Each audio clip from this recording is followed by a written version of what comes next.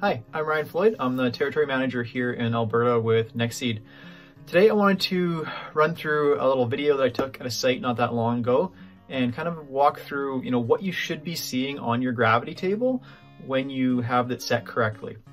So we're going to throw the video up on the screen here and today we were doing flax. So you can see all the lighter material on top of the flax starts traveling to the top left of the screen and that's where your screenings is going to be and along that back you're going to have all that stuff building along that maximizer plate.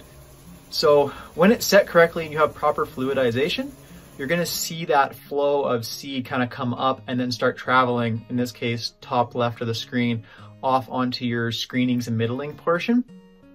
And that's what you wanna see when you have it set correctly. So if you really wanna dig into it and see, you know, what we did and how we set that to get that figured out in that way and working properly, uh, give me a call, send me a message, and we can uh, go into a little more detail on this. Thanks.